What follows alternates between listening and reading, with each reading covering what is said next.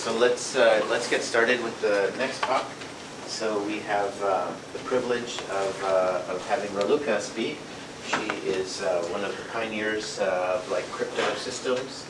Uh, She did her PhD at MIT, now she's a faculty member here, and she'll talk about decentralized authorization frameworks for transparency.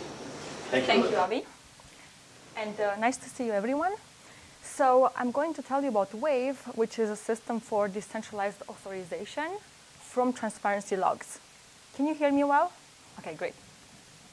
All right, so this is joint work with my students Michael and Sam, as well as, as, well as with Professor David Culler and his students Mustafa, Gabe, Jack, and Hyung. Um, so this talk has two parts. The first, I'll tell you about transparency logs, which I think are a very interesting type of blockchain that combines the qualities of decentralized security with the performance of centralized hosting. And I find them very useful in thinking about re-architecting classical security systems with decentralized security. So an example of such a system is our platform Wave, which replaces the classical access control server where you put all your permissions and you trust it with the permissions with a decentralized authorization framework where there isn't any one server that you can attack. And this picture is from a real deployment of our Wave system on hundreds of IoT devices, uh, which I'll describe a bit later in the talk. So transparency blog, uh, logs are a type of blockchain that have decentralized verification and centralized hosting. So in terms of the decentralized verification, the idea is that they give some integrity guarantees that hold as long as at least one of the parties is honest. There isn't any one specific party you can attack. There's a system with multiple parties. And as long as one of them is honest, then you have integrity guarantees. At the same time, it's centrally hosted. So you can think of a big provider like Google uh, hosting this log. And because of this, it has really high throughput, really good performance. You don't have to worry about proof of work. You don't have to worry about duplicating the whole system state of all these participants in the network. You don't even have to worry about Byzantine consensus. So it's very fast. But the whole point is that it's checked, it's verified in a decentralized manner. Okay? So you trust them with availability, the Google, for example, but you don't trust with the integrity guarantees. So because you trust Google with availability, obviously Google can den denial of service, the, the log, right? So if Google wants, they won't provide service. So this, for example, wouldn't be fit for a cryptocurrency because you can't just have your money disappear. Um, but if you think about using this for hosting certificates or access permissions, then maybe it's not such a big problem because if Google denies service, then really there are bigger problems happening. Okay. And moreover, this can also be, uh, and it is currently distributed across multiple big providers. So as long as one of them is available, then you're fine. Okay, so I'm not really concerned about this uh, downside, at least for the kind of use cases we are envisioning. All right, so one very famous example of transparency logs. Yeah, question. The same properties that uh, you don't want, like censorship or, I mean, there's a live, liveness in the sense that any honest node could add to the log and Uh, yes, so we'll see in a moment. So uh, Google is uh, the one who gives availability, right? So any node can send entries and Google can add them. If Google decides not to add them, it won't add them. But Google won't be able to equivocate. So we'll see in a moment what a guarantee actually gives you. Won't be able to show you two different histories to two different people. Okay, but it can choose to not include an entry in the log if it wants to. Okay, so how many of you here know how certificate transparency works? Okay, one person. That's great. Two people. Okay, great. So um, I'm going to explain how it works, and I think it's very, very interesting. So it's essentially a type of blockchain used for storing certificates, like web certificates, and it addresses a 20-year-old problem with certificate authorities. What's the problem? Well, that CAs can be compromised and issue fake certificates. Okay, so there's so many examples of that, including prominent ones like Verisign, which is you know, one of the authorities in the certificate space, issued false Microsoft certificates. Okay? And the fundamental problem is that you can't tell if a certificate is good or bad. You can't tell if it was produced by a party while being compromised or not. Okay, so it's a really, really tough problem. And people, yeah. Can you define what you mean by the word certificate precisely? Okay, so um, what What I mean by certificates, I refer to the web certificates, where, for example, um, when you go to a website, right, TLS uses certificates to authenticate that indeed you're talking to the host you think you're talking to. So it basically is a signature that binds a host name with a public key. So then you can use it for a you know, secure uh, communication, and you establish key exchange. And so uh, these are integral, the certificates are integral to communicating on the web. Whenever you have TLS and SSL and you have the green lock, then you're using certificates. And the question is, are those certific certificates trustworthy or not? Okay, because if they're compromised, then you think you're talking to Bank of America, but you're actually talking to an attacker. So in this case, because Microsoft certificates were compromised, then users were going to some attacker site thinking it's actually Microsoft when it wasn't. And so yeah, the, has been really a long-standing problem with many, many attempts at solutions, but fundamentally the problem remained that you can't really tell if a certificate is compromised or not. So certificate transparency is a real system. It's actually used all the time. You are using it in your Chrome browser. So every certificate that you use in your Chrome browser has been validated by CT. Okay, Chrome does not accept certificates that have not been validated by CT. Okay, so this is a very real deployment scenario. What is a fake certificate? A fake certificate. I go to the website. Yeah. Do I really know uh, what is the public key of this website? I, I, want to talk to, to some website. Do I know the public key of the, of the website I want to talk to?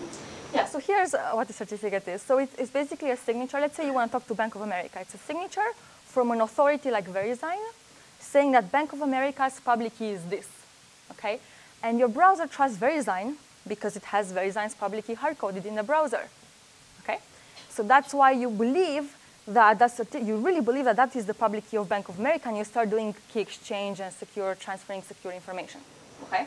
A fake certificate is when VeriSign was compromised and tricked to sign for Bank of America a wrong public key, the public key of an attacker. That's a fake certificate. Okay. Uh, okay, so let me tell you a bit of how certificate transparency works. Um, and our system will be building on it later. So it has essentially two types of parties, the log server that stores the log of certificates, and then some monitors and auditors that are checking the integrity of the log server, namely that it does not equivocate. And I'm going to conflate the monitors and auditors together. Let's just call them auditors. It's not that important, a distinction. All right, so here's the guarantee that uh, certificate transparency tries to give at the high level. That everyone sees the same append-only log of certificates if at least one auditor is not compromised. Okay, so everyone will see the same history, the same log of certificates. Everyone in the world, or, or, not, or not have service from Google. I mean, they can also be denied responses, of course, but if they see something, they're all going to see the same log of certificates. This is for, there are multiple logs, so this is a guarantee for each particular. Yes, yes, this is a, exactly. There can be multiple providers, each, you know, providing their log. Let's just focus on just one provider in the whole talk. Just look at one, the situation repeats for the others. Yeah. So you have this log provider storing the log, and then you're going to have these auditor parties that are going to verify that the log provider does not equivocate, namely does not provide two different logs to different people. So here is why this is great and why this you know, addresses the certificate, the fake certificate problem. So Bank of America, um, you know, can, can register one of these certificates, can put them in the log for Bank of America. And then it can keep watching the log to see what are all the different certificates added to it. Okay, if it sees, okay, so it's to check every single certificate appended to the log to make sure if it's for Bank of America, then it's really provided by Bank of America. Okay, so it's monitoring its own certificates. Why? Because if there's a compromised certificate authority that produces a fake certificate for Bank of America and appends it, appends it into the log, then Bank of America is going to see it. Okay? It's going to see it immediately and take action. Okay? So the point is that what's really great fundamentally about CT is that you won't be able to, a user will never be able to tell if a certificate is good or not. But they know that Bank of America would have seen it, okay, if it's bad. Okay, so as soon as someone registers a fake certificate for Bank of America on the log, then Bank of America sees it, catches it, and can take action. And that action is outside of CT. Okay? So now, if a student fetches a Bank of America certificate from the log, well, they, they, again, they don't know if it's correct or not. Okay, that's a, that's a very difficult question to answer. But they know that Bank of America saw it as well and is fine with it. Okay, so implicitly, it means that it's, it's, a, it's a good certificate for Bank of America.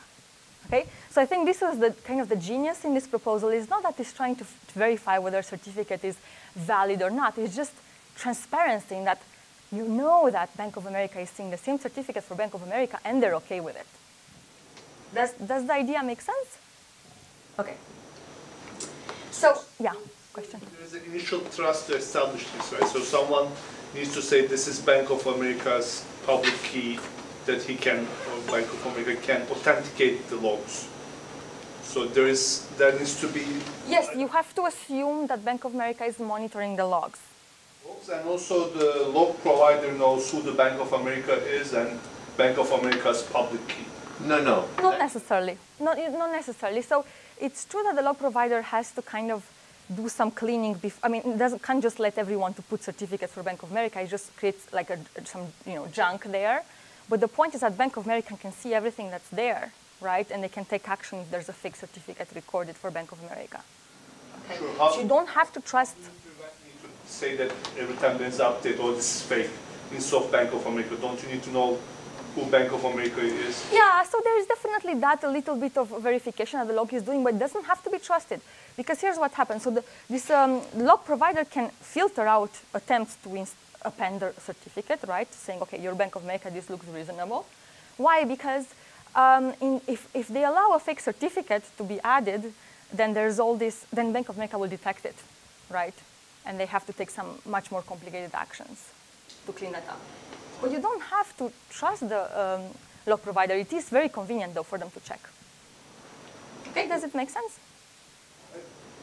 What's the difference between, let's say, DNS? Mm-hmm. DNS takes a string of words mm-hmm. and associates an IP address.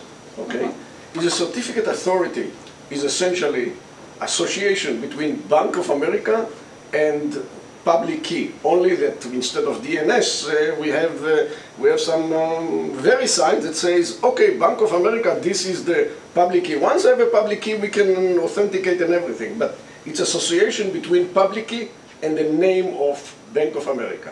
Is this uh, So the certificate, the certificate tries, it's a signature, right? Tries to be certified by some authority like VeriSign, the binding. Okay, so it's not just the binding like DNS. It actually tries to certify the binding.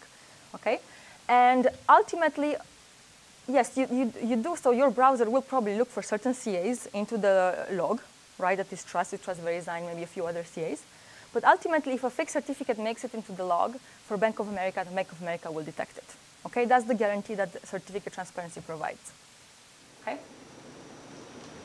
Yeah, question. I know you said it was outside of the system, but I'm just curious. Yeah, Only log. yeah, yeah, it is. It is. Yeah, yeah, yeah. So exactly. So if someone manages to somehow append a fake certificate and then Bank of America will detect it, what do they do? It will stay in the log. It's, it's, you can issue revocation lists in the browser. You can issue all kinds of sort things. You can contact that person. You can take legal action, you know, but it's still going to stay in the log. Okay, so it's, it's complicated. What's preventing me to launch a denial of service attack and say that this is fake, this is fake all the time? So I assume I'm not Bank of America, but I wanted to prevent Bank of, of America to be updated. So you are saying that you don't need to know the bank, public key of Bank of America, so I can, can I claim to be Bank of America and deny all the updates to its new uh, public keys? So when Bank of America finds a, a fake certificate, they can take out of bound action like a legal action, right? And and you know, in legal action, you prove that yourself in whatever way. So assume there is a real, real certificate put on the loan. Yeah. by someone, and I, I'm, I'm claiming to be Bank of America, and I say it's fake. So it's You can't just say it's fake. You, you, you can't just say it's fake. You have to prove. uh, You know, you have to prove who you are. You have to do all this authentication. way, there's already an authentication procedure for obtaining certificates in the first place, right? So that exists, but sometimes it gets subverted through social engineering. So now what we're just saying is like, okay, like, if that gets subverted, we now, at least we'll find out about it, so we can go through the same thing, maybe slightly more rigorous, and like, you know, complain about it and then do something about it. and do something legally about it. But again, I just want to say this is outside of the CT system, and I'm actually not really interested in that at all. Uh, what I'm interested in is the guarantee that if there's a fake certificate there, Bank of America will find it, will see it. Okay, that's the only property I'm interested in. The rest, there's so many politics out there. What's the legal procedure? What do you do? What not? I'm really not interested in that. Okay, There are great questions, but no. On an abstract level, it sounds to me you're talking that uh, a certificate is about binding. DNS is also about binding. So if there is a difference, try to explain to me why you are going why, for example, your solution will not be a good solution for DNS, for example. Binding a name of uh, Bank of America with an IP address, In, in, in principle, no, in principle, it can be a good. The thing is that you don't really need that security for DNS because the TLS and the certificates are at a higher level. So you don't really need that for DNS. For DNS is literally a network function where you just look up a pub, you look up a public key, right? So you don't need a cryptographic binding based on trust and based on you know people you trust like you need for certificates. DNS is literally a systems function where you're looking up uh, you know some IP address, right? Uh, a- a- and that's it, you know. And then you have TLS on top at the at the at a higher level. There are It's like some the You can add, you can add, of course, yeah. do DNS same way on that blockchain. Yeah, you can do, do that if you want. Uh, that- you, you can do that if you want, but you're kind of. Re- you I have a can do that, yeah. What's the rest of your talk? Yeah, let's, I agree. Let- Let's continue. Being extendable To any key value type of binding, but Yes. why don't we let her get on to that? Exactly. All right. So, um, okay, so we discussed this. All right. So now the question is, um, okay, so now let's see, let's see how the data structure looks like. Okay, the data structure is actually very simple. It's a Merkle hash tree, right? So you take the certificates and you just uh, log them based on time, right? So for example, certificate three was just added in the last uh, epoch, and then you just build the Merkle hash root on top of it, okay? Um, so it's just A is just the hash of certificate zero, E is the hash of A and B, and then the Merkle hash root is the hash of ENF, so it captures the whole tree. You should already know how Merkle trees work. Okay. Um, so how does auditing work? Well, the log provider is going to send in every epoch a signature of the Merkle hash root, okay, with epoch number to the auditors. Now the auditors are going to start gossiping amongst each other to make sure they're all getting the same signature in every epoch. Okay? If they're getting two different signatures in the same epoch, the log provider is equivocating and is thrown away from the system forever. Now, there's more that they have to do. They have to check that uh, the append-only property is satisfied. So, uh, what they're going to do is in uh, epoch i plus 1, it's going to ask the log provider to, pro- to give the appended uh, certificates. Let's say that these were appended in epoch i plus 1. And it's going to check that the append property, how? Well, it's going to take the old log um, root, which was this, and then it's going to hash this and hash together to obtain the new log root. Okay, so that's how it's going to check that this log was only appended. Okay. All right, and there's another uh, proof, it's the audit proof in which you can check that the certificate was indeed included in this log. Okay, so that's very simple. You just do a Merkle. So for example, if I want to check the certificate three is included in the log, I'm just going to, you know, ask from the log provider C, right? And I'm going to ask E, and then I can hash things together again and check against the Merkle root. Yeah. Sorry, in the- How did you check that uh, it's append only? Like, are, are the leaves basically the, the blocks that you just? Yeah, so how, how here's, here's how you check that it's append only. So in epoch i, let's say this was what you had in epoch i, this was your log, and this was the Merkle hash root, and you had a signature on it. In epoch i plus 1, this is the Merkle hash root because you appended this. The way you check it's append only, you make sure that things were added only on the right.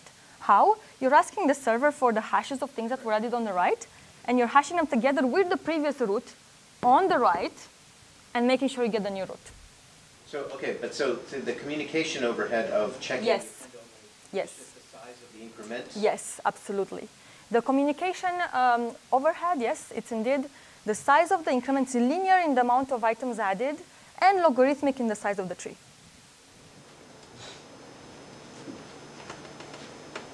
Okay. And then uh, this is how you check that uh, the certificate is in the log. You just ask for the Merkle hash root. Yeah, question? Provide all the new items, like, like, in the case you added two items, you can provide the. Yes, absolutely. I completely agree with you. Absolutely agree with you. Yeah, in, in this case where you added these two values, you just need to provide this hash. Completely agree. Uh, but uh, there are worse cases in which you actually end up kind of providing more of them. But it should be logarithmic. It should still be logarithmic, yes. Why wouldn't it just be the next child, uh, or, uh, So, um, not, not constant, definitely logarithmic in the path, in the length of the path, right? like, the tree doesn't have to be balanced, right? It could always just be what the previous one plus whatever you add. But you want it to be balanced so that uh, the proof, so that audit proof and the paths don't grow too much. Yeah, yeah. So you can do logarithmic. Now the reason it's linear, um, so the monitors do end up getting all of these because they want to check if there's a Bank of America certificate that ha- had appeared. So yes, but I, I agree. Just for the sole purpose of this proof, it can be logarithmic. Great questions. All right. So here's how um, you uh, implement, I mean, the Bank of America example uh, with, you know, using the capabilities of CT underneath. So Bank of America is going to be this auditor and monitor that's going to constantly get the appended value always and look at them. Is there a fake certificate for Bank of America added? And it's going to check the proof of append, the append, so it's going to do this proof of consistency. And so if a compromise CA anytime appends a fake certificate, then um, then Bank of America is going to notice it, right? It's going to see it. At the same time, a user, uh, when they go to, you know, when they fetch a certificate uh, for Bank of America, they're going to do the audit proof and make sure that indeed this uh, certificate is in the current Merkle hash root signed by the provider, you know, and it gets that signature from, the, many auditors, right, to make sure that there isn't an equivocation about that signature. Okay.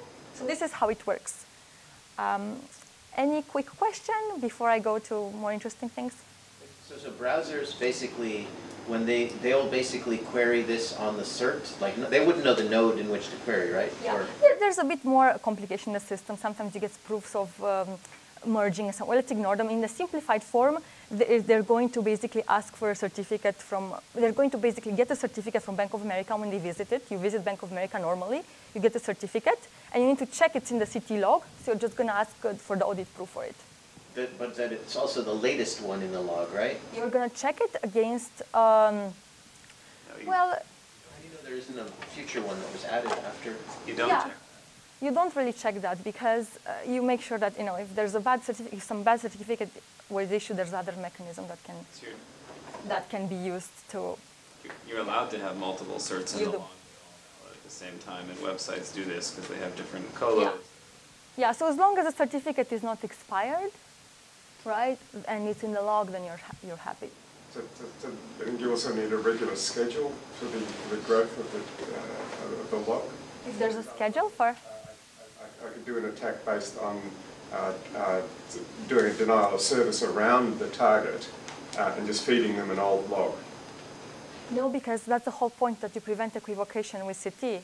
The, the point is that you prevent equivocation because um, the log provider published the signature of the Merkle root in every epoch, and everyone makes sure it's consistent.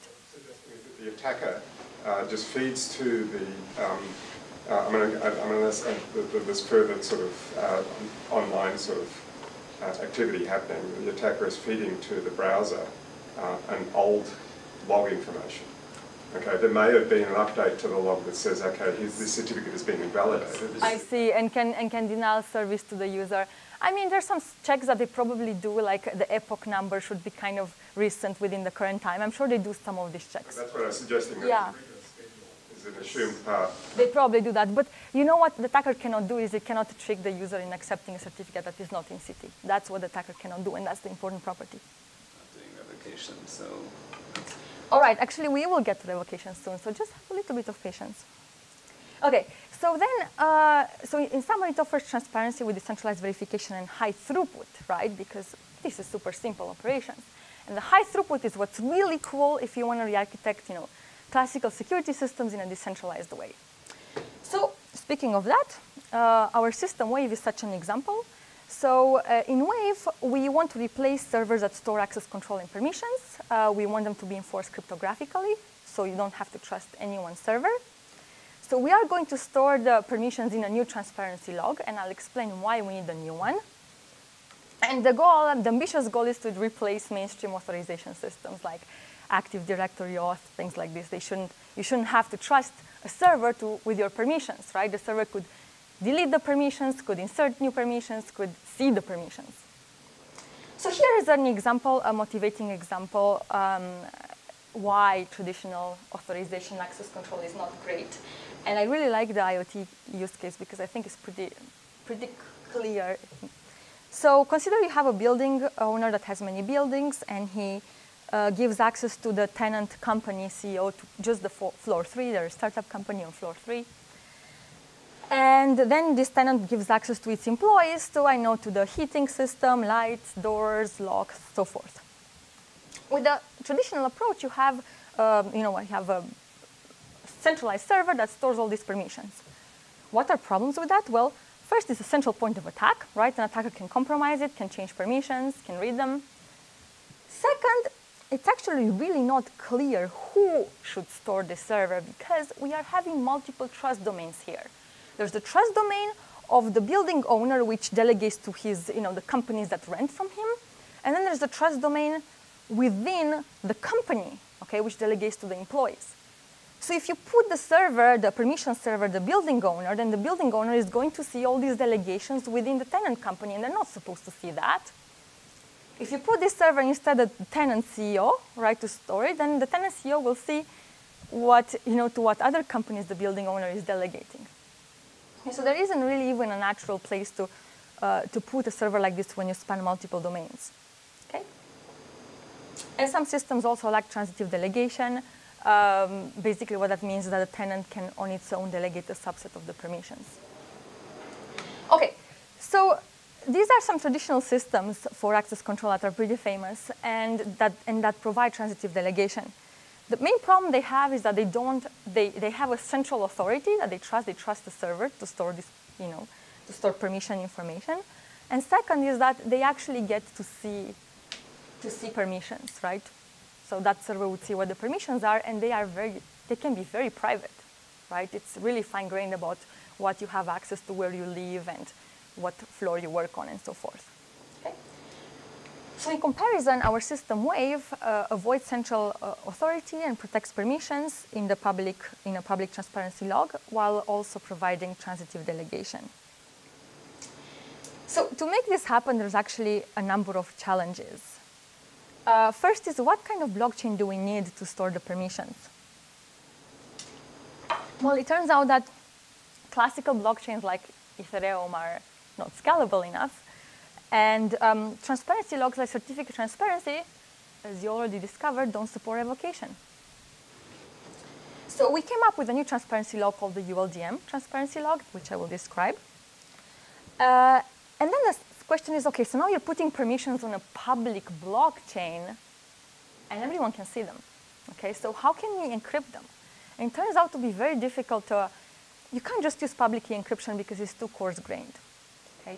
People are supposed to delegate things and then delegate to others and others and others. When you give access to someone, you don't know to whom they're going to delegate and what they're going to delegate.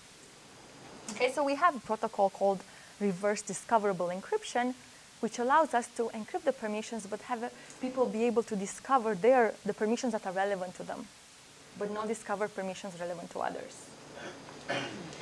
All right, so in the rest of the talk, I will uh, focus on mostly on the transparency log in interest of time. But to understand how it works, I'm just going to introduce uh, some background uh, on just how our you know, authorization model works. Okay? So first a bit of background, and then we're going to talk about the transparency log, and at a high level, how the encryption works. So we represent access control as a graph, okay, which is a model that already existed in, from 96 in SDSI and SPKI. So it's a graph instead of an access control list table because the graph naturally represents uh, transitive delegation, right? So who gave access to what and, and so forth. So we have entities, uh, participants in the system that are identified by public keys, exactly like in a cryptocurrency. So this is a very, it's like a similar situation. and then we grant permissions, so edges represent permissions, and we grant permissions by signing okay, that the permission was, was granted similarly to when you pay, when you make a transaction in a, in a cryptocurrency. Okay, so for example here, the building owner is signing that he's giving access to floor three to the CEO, and there's going to be other stuff uh, that's important in the signature, but let's ignore it. Okay, and then the CEO is going to sign that they give access to the heating system to employee one. Okay, so in this sense, it parallels the cryptocurrency trans- transactions. Now, how does an employee prove to the door lock that he has permission to it? Well, the proof is a path. Okay, is this path from the owner of the door, which is the building owner, for which you can assume that the door has the publicly hard coded, right? It's this path of signatures, okay? And it gives access to what? To the intersection of the resources, okay? So this path of signatures gives access to the doors on floor three, okay, to the employee. It doesn't give access to all of floor three, it's an intersection, right? Okay, so that's pretty simple. And so this forms a global graph where you can put everyone's, imagine everyone's permissions as a global graph, and you can have many different owners, so it's decentralized because you know every single owner with their own resources are, you know, have some resources in this graph, and other owners have other resources, so it's really decentralized based on how people own things. Okay, and it's important that different participants will only see portions of the graph. Okay, is the graph model clear? All right, great. So now that we understood the graph model, I can explain uh, how we actually store this graph and what we need from a transparency log to be able to store a graph like this and, and manipulate a graph like this. And then I'm going to explain a very, very high level how we do this reverse discoverable encryption. Okay, so our transparency log um, is called ULDM, which stands for Unequivocable Log Derived Map. I will explain the name. And it's meant to store encrypted permissions. For now, assume they're not going to be encrypted. We're going to encrypt them later. And revocations, okay? And, but I want to say that it's really applicable beyond storing permissions. We are extending certificate transparency with revocation, so it's, it's useful for you know, any scenarios where you want these basic properties. All right, so first, what do we need from this log? Okay, well, decentralized security as before, we want to, what I mean by that is the same thing that uh, you know, the, the log provider cannot equivocate. Okay, so you don't have to trust any one server for that. Immutability and append only again. Then we also need efficient proofs of existence. Okay, so effi efficiently check that something exists, like a permission exists in the, in the log. But then I also want efficient proofs of non-existence. Any ideas why? Why do I want efficient proofs of non-existence? Yeah. That's how you haven't been revoked. Exactly, exactly. You want to prove that you haven't been revoked, right? So you, you, I mean, you could, pr- you can also prove you were revoked. It's just not very, you know. But you want to prove you weren't revoked when you access for, when you want some, to use some resource. Yeah. And I still want to high performance, right? I don't want to make this thing slower. So, okay, so yeah. Why do you need the append only in this context of uh, authorizations? Isn't, isn't the current state the best, like, enough? So I definitely don't want uh, permissions to be thrown away and discarded, right? And that's that's one easy way to make sure that wasn't the case, that nothing was discarded. But the thrown away discarded is like user error, right? Like, uh, it, No, I want to make sure that the log provider is not deleting my access or something, or is not deleting a revocation because they're colluding with the revoked user. Yeah. Oh, what this? Yeah. So actually, uh, yeah. Anyways, initially we're looking at using an earlier system, but you know it, it has many issues. Uh, like so, we're using a classical blockchain, but it has many issues. Um, it's yeah. You, you can in principle implement all the security aspects, but it's not efficient and you know not scalable. Um, then you can think of certificate transparency, but certificate transparency does not have efficient proofs of non-existence. And if you think about it, it is a little bit at odds with the immutability and append-only property, right? Because if I want to show it's append-only, then I append based on time, but then how am I going to efficiently show that the value doesn't exist? Right, to efficiently show that the value doesn't exist, I kind of need a data structure sorted by value. Okay. So our ULDM data structure reconciles this property and offers efficient proofs of non-existence on top of the properties of certificate transparency. So what's the insight? Well, the insight is kind of what the name says. We are going to derive a map from a log. So the map is going to be used to prove non-existence or existence, right? Because maps are dictionaries and you can map based on value. So you can usually think of it as a tree and you can easily check if the value is in there or not. And we're going to derive them from a log, which we're going to use to prove the append only property. Okay.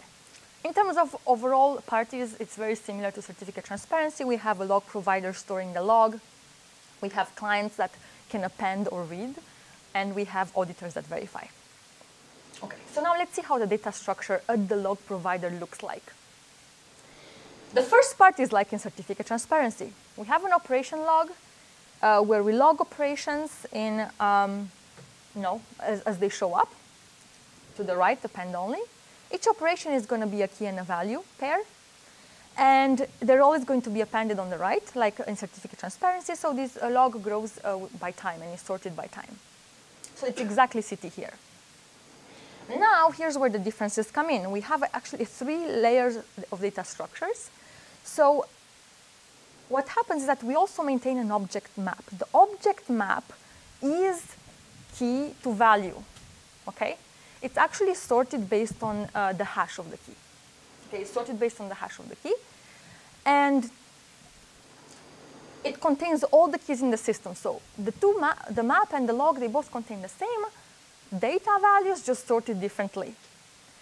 And whenever you, you know, if in epoch i, let's say you append these values, then you're going to have to insert them in the, um, in the object map. And then we take the root of the object map and keep it in a hash chain, like, like a blockchain. Okay, so basically what we have in uh, each um, block is we have the hashes for an epoch. And so, for example, here, you can see my mouse. Okay, it's okay.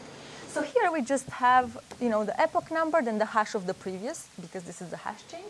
And we have a hash of the object map root and the hash of the operation log root. Okay, so we have the hashes of the two trees in the, in the hash chain. Okay?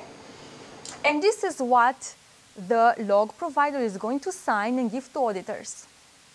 Okay, so it's going to, when the log provider provides one of these signatures in an epoch, it took a snapshot of the state of the operation log and object map. Okay, and it includes the hash of the previous um, block, so it includes the whole history of the snapshots of the two logs. Okay, so one single signature has that whole history of all the state of the two trees in every single epoch. So what do the auditors do? First, they need to check they're getting the same signature. Because, uh, you know, in an epoch, you should only get one signature from the log provider. The log provider should not equivocate and provide different ones. But then it also has to check that the operation log and the object map are computed correctly. So for the object log, for the operation log, it's just going to check append only the same way as for certificate transparency. Okay, same thing. But then it's going to take those appended items and insert them into the object map. Well, actually, it's going to ask the server to, for proof that they were inserted in the correct way. Okay, so how, how do you do that? Well, for every single value that was appended, you ask the server for a Merkle uh, hash proof that it was inserted in the correct place. And remember that things are sorted by the hash. So you can tell what's the correct place. How? Let's say I have to insert a key between uh, 0 and 1.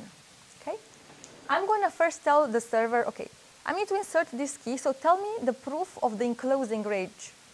Okay, what is the tightest enclosing range? Show to me they are in the tree, prove to me they are in the tree by using a regular Merkle proof, okay, against the root of the from the previous epoch. Once you establish this is the correct range, you, you basically do the insert in here, okay, and then you recompute the whole Merkle hash to check is the one from the new epoch. Okay? This is a very high level because there's a ton of technicality. Yeah. Is the tree balanced? Yeah, you can do rotations by always proving them with the Merkle root, against the Right. Merkle root. Like hashing the object map doesn't get kind of expensive. I mean, this thing could be like hundreds of gigabytes, right? Um, so you do linear work in every single appended operation, yes. Um, The server does that work, and then the auditors have to prove just the Merkle roots. Has to prove the, have to check the Merkle paths. Yeah. and the rehashing is not a bottleneck. The rehashing is is not. I mean, it's not a bottleneck for us. I mean, it's definitely more scalable than a regular blockchain, for example. And the nice thing is that um, you don't work with the actual. So the auditors never work with the actual data. They just work with the hashes. And checking, you can check so many hashes. You can check a lot of hashes. But if I were to ask, if you were to ask me what is, you know, if you increase and increase and increase and increase scale, at what point, which is the point that would become first the heaviest? I would say it's the, the this part Um, for the auditors. Purge expired certificates or, or expired operations, or this just? But it's append only, so you It's, don't. a, it's append only, yeah, you don't. They just expire, so they're not useful. But it's a very good point, you know, if because if you worry about the scale, right, then well, the scale just grows logarithmically, but sure, it grows forever. Yeah. Well, no, but the, sorry, it's not, because the object, or you purge them from the object map, because otherwise the object map is gonna grow. Yeah, but, but yes, but yes, but, but the depth, the depth only grows logarithmically. And all the Merkle proofs, The whole thing is gonna grow linearly. oh, but I'm not rehashing the whole thing. I'm never rehashing the whole thing. So this is a lot of technicality in how you do this kind of Merkle updates. I'm never rehashing the whole thing. So let's say I just inserted something in here, okay? Uh, this, this is a binary search tree. Maybe it caused a small local rotation, okay?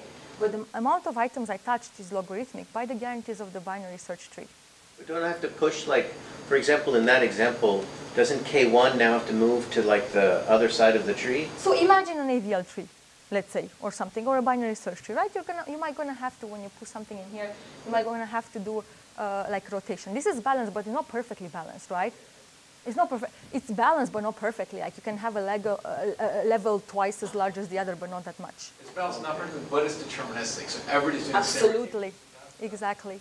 Yeah. So you can have some um, leaves, you know, some some subtrees a little bit unbalanced, but it's still balanced within a factor. So it's like an AVL tree or a red-black tree. They're all balanced trees and deterministic trees. Yeah. But if it were perfect to be like this, I agree, it would rehash. Okay. So Yeah. how does this compare to the extended certificate transparency paper?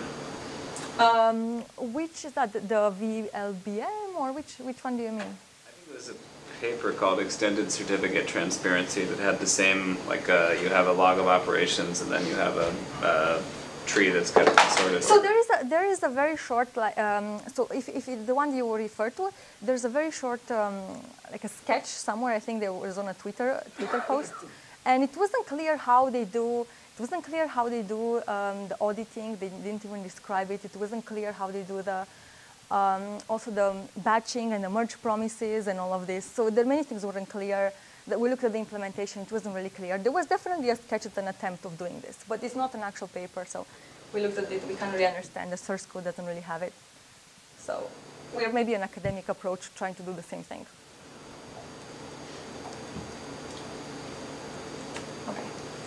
All right, so now we can see uh, how you can prove existence, right? So you can prove existence easily against this object map, right? Because um, I can, if I want to check that uh, value is in the Merkle uh, tree for the object map, I just tell the server, hey, give me the, you know, give me the authentication path, and I can check it. Um, you can also see how I can prove non-existence. Okay, and the way I prove non-existence is I tell the server, hey, um, prove to me that this value doesn't exist, and the server has to give you again the most enclosing interval for where that value would have gone in. Okay, and give you the Merkle path that you can check against the current signature. But know that you can also check where these values are in the tree. Why? Because the paths are like left, right, right, you know, so you can tell that two values really come after each other in the Merkle tree. Okay? So you can really check that nothing is in the middle between them. Is it clear? It takes a bit of uh, just a bit of technicality with Merkle trees, but the point is that you can check that there's nothing in there. So you only need the object map for the proof of non-existence. The existence you can use the operation log from. Um, yes, but e- even then, even then it might be less efficient because let's say I appended a million values in the last epoch, then I have to scan those million values to check existence. Right? So it's not going to be logarithmic guaranteed Uh, for the proof of existence. No, I mean, can't you just point to some node and show the, the path from that operation to the, Oh, oh, oh, sorry, sorry, sorry, sorry, sorry. Yes, absolutely. Yes, it's like in certificate transparency. Yes, yes. Uh, you're right. Uh, yeah, exactly like certificate transparency. Yeah, you can uh, prove existence here as well. Yeah. is it that the object map though, like if, for example, I have a million operations on the same K0, the object map actually only has one K0, the latest K0, or are we they actually? include everything. Sorry? We include everything. We, we don't lose anything. Yeah. Yeah, and definitely, our, I mean, as I said, our main contribution top of CT is the proof of non-existence. Uh, All right. At a very high level, again, I, I, I try to understand. You have a log. Uh-huh. The log is a log, uh-huh. okay? In the log, there is a certificate that says, I authorize you. And you authorize the, some others, and there is a whole tree behind you of authorization, okay? Then I revoke. Mm-hmm. There is now a lot of things that we need to revoke to other. Let's talk about revocation right now. All this is sitting in a, in, in a line in the, in the log. In the log, it's a line. Mm-hmm. It's like union find. This is union find. or- Okay. Now I go and I have a Merkle tree, and I want to think of a Merkle tree as a two-three tree or whatever that I want to. All these things will sit in a, in a Merkle tree, but in some order that I can, I can now hash them and get and, and mm-hmm. find them. Yeah. Okay. Now, when I deauthorize you, somehow somebody, where, how do we go now to the Merkle tree and we essentially eliminate all the things that Absolutely. Let's talk about revocation right now. This is the next step.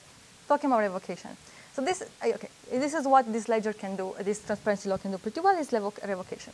So let me show. Let's let's take this concrete example. The CEO gave access to Alice to the lock. Okay, and now Alice wants to go to the lock and say, "Hey, I have access." Because the CEO, look, I have this signature from the CEO, I have access, so let me un- unlock, unlock you. But then the lock says, what if you were revoked? you know, you need to prove to me that you were not revoked. And it's, so how does the lock know that the Alice, Alice's access was not revoked in the meantime?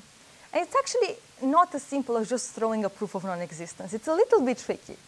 Okay, so let's look at it. Obviously, you don't want to scan the log, that's too much work. So let's try to use proof of non-existence.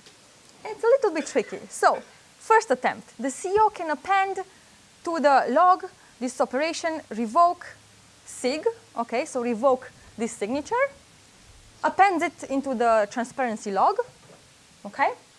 And then Alice provides a proof that this revocation, so provides a proof to the log that the revocation revoke for this signature does not exist in the transparency log. Okay, uses a proof of non-existence. Okay? And then the, the log can say, okay, the CEO clearly didn't revoke it, it's convinced of that. But what is, what is the problem though? There's a problem here. Can someone say it? What do you mean, pro- Alice provides proof. We, want now to prevent that she will provide proof. She cannot, she shouldn't be able to provide proof because there is a revoke in the, in the. No, she provides a proof that the, okay. How So uh, let me explain this properly. Okay, let me explain this again. So the CEO can, if the CEO wants to revoke, right, he can append revoke and signature to the log, okay? Right. Now, if the CEO did not revoke Alice, then she can prove the non-existence of this binding, okay, to the log. You can always give an old proof, like before the revoke was there, but are you assuming the lock can always get the latest? No, so the log has the latest epoch number and the latest signature. Okay, let's assume that. That's a great point. That, that, that's implicit. Let's assume that the log has the log has the latest signature, right, uh, for the current epoch. And let's assume that the CEO did not revoke Alice. He actually did not revoke Alice, so she is able to provide a proof that revocation does not exist using the proof of non-existence. This is, this is all fine. The security is, is, is fine here in terms of her, you know, revocation being uh, observed by the lock or not. But there's some other problem, yeah. Revocation message unique.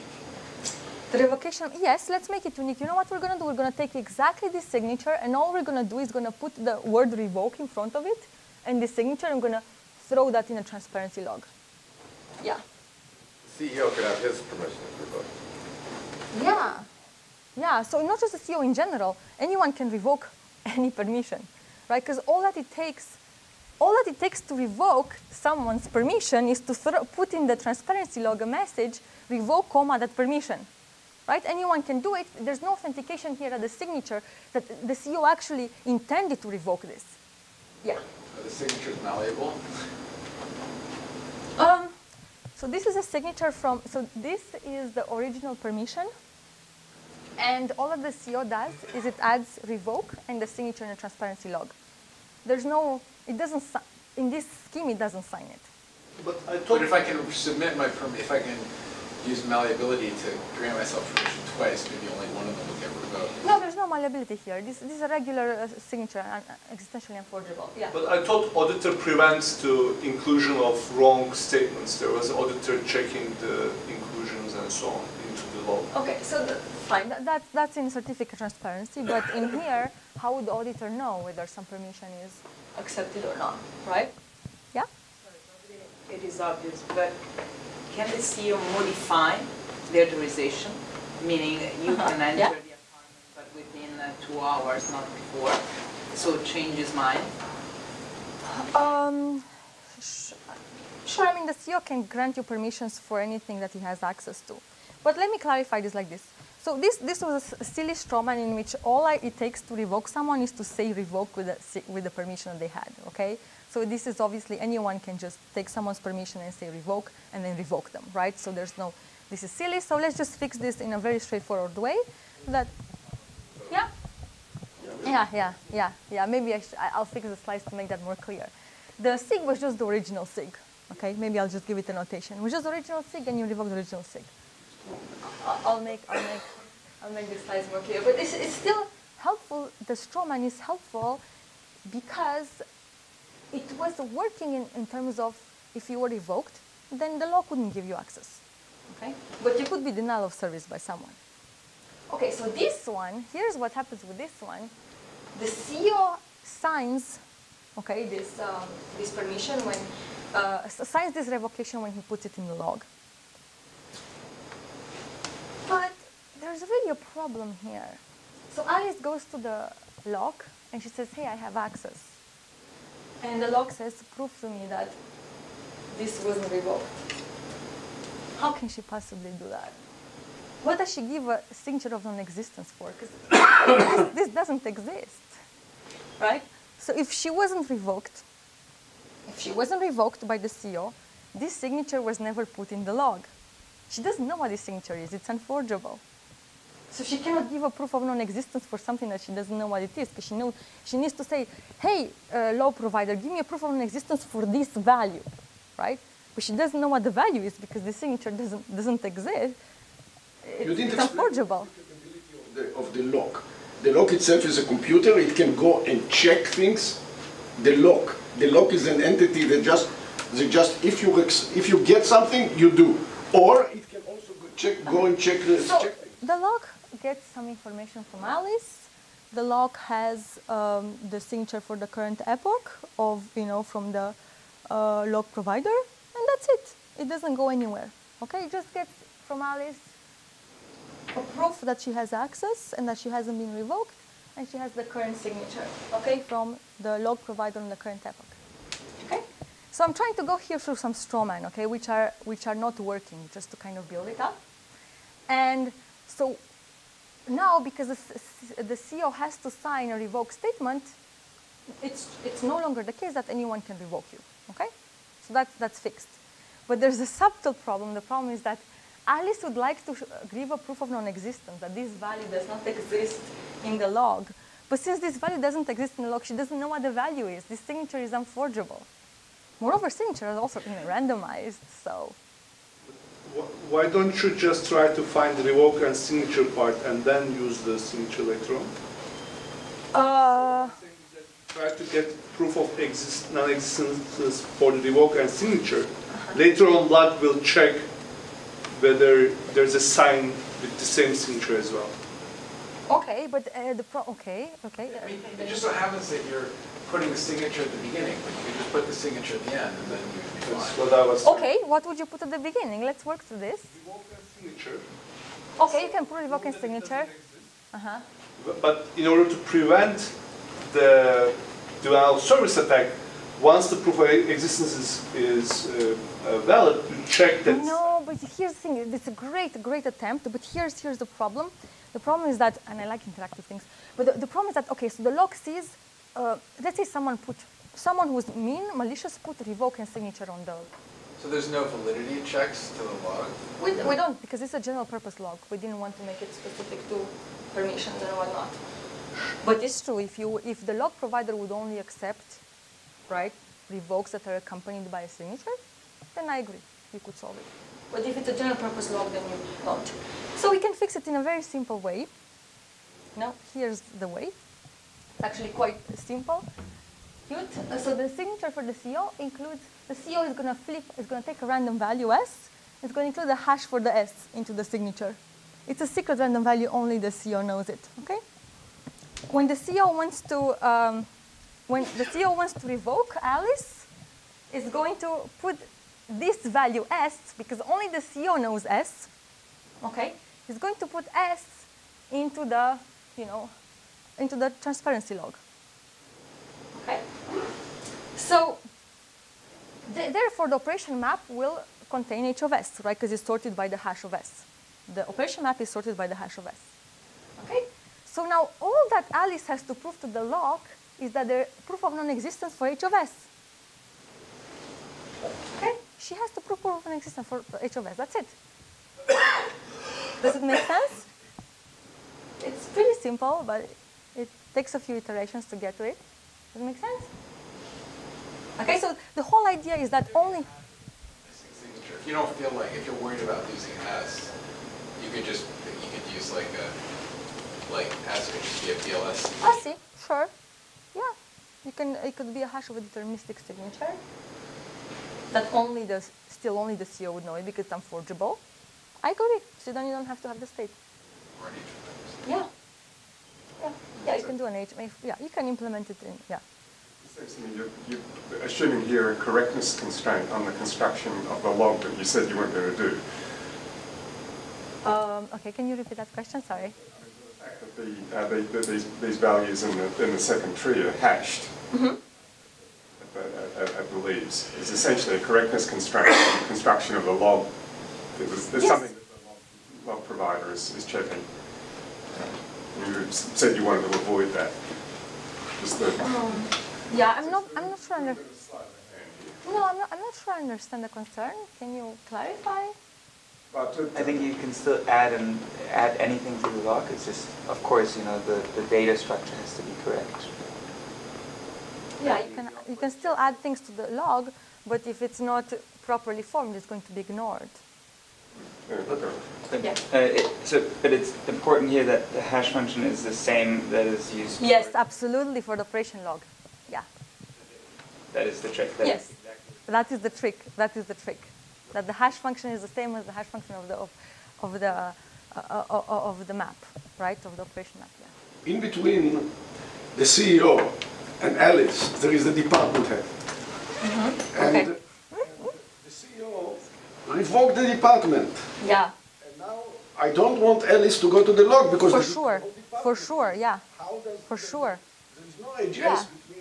between, between uh, the CEO and Alice. It So- goes through, so the, the, the authorization is through the department So, so remember that the proof of access is a path of signatures from the owner of the resource. So if she gets revoked, any one of them, she won't be able to show the whole path to the to the log. So she won't have access. So the lock looks at whole path. Yeah, I mentioned that before. Yeah, I mentioned that. Yeah. So I think I heard another um, subtle point, which is what happens if the CEO, that person gets revoked? Then how, what prevents them from actually doing revocations on Alice that are invalid? Oh, so if the CEO gets revoked, so basically, let's say there's the building owner, right, and gave access to the CEO to the to, to the log. Imagine some intermediates. Ah, you want you want it in here. Yeah. So So yeah, so there's gonna be there's gonna be a signature for every edge, and both edges have to be proved that have, they haven't been revoked. But you have to reissue, like as you redo your org chart, it's like if you, if you chop off the top layer of your org chart, then presumably everybody needs a new manager, and so you need to like reissue a bunch of certificates, but you presumably accept that. As, as long as there's a path that's still valid, as long as there's a path that hasn't been revoked, you'll get access, right? A path from the resource owner that hasn't been revoked, you still get access. A path that contains the, the log access. The observation is, if you fire your CEO, Yeah. you're like revoking every single path because he uh, transiently authorized all your employees. So at that point, the new You need to give them access in some other way. Database Yeah. is well, one is recursive, so you revoke everything on the past, or you can do non-recursive, so you can assume that the other people may be still working for the company. So you, you, you have I mean, yeah, I mean, if you, if you, i- i- Merkle tree to, to eliminate the whole subtree, sort of. no, you- you- How, do, how this is done? It's a, Yeah, so, so for example, if, if, if you um, if, if you revoke the CEO and you got access from the CEO, then you lose access. Okay. Exactly, it's it's transitive, so you it's transitive, so you lose access, you lose, lose access. But if you got access from someone else, then you're fine. All right.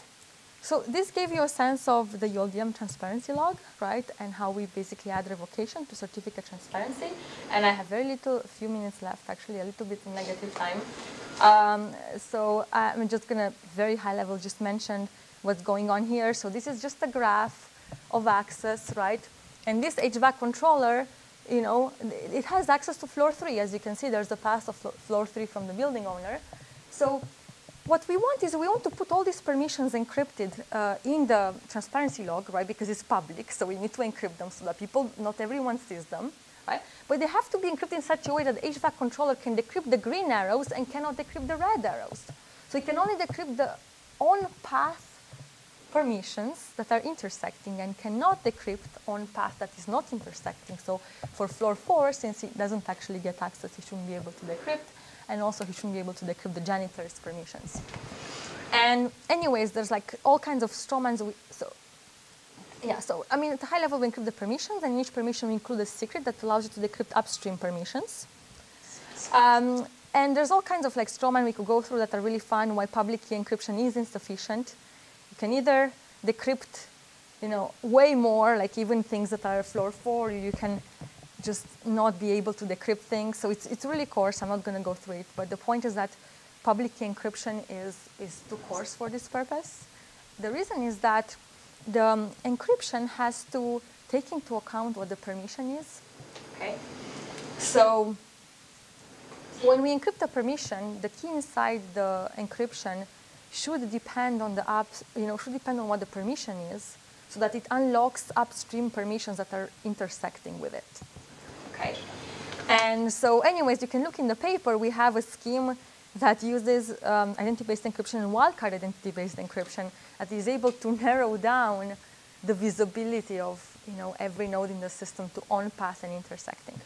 Okay, so I'm just going to conclude um, really fast. So we implemented Wave. It's a real system. It's open source. It's implemented in Go and C++.